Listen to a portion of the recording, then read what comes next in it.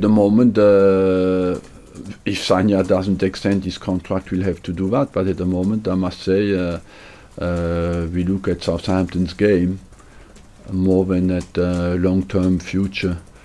Uh, we try to, of course, secure Sagna because for me he's a very important player for the group. And uh, but uh, he's fully committed, and as long as he will stay here, we'll be fully committed in every single game. Look, it is simple. You look at the fixtures, you analyze it. I trust you. You will give an objective view, and you will see that Arsenal is behind all the other teams. And in the last five years, all the objective studies that have been made have shown that Arsenal had less rest than any other team at the top level in the top four. So is this just It's it's it's it, that's facts. It's nothing to do with my opinion.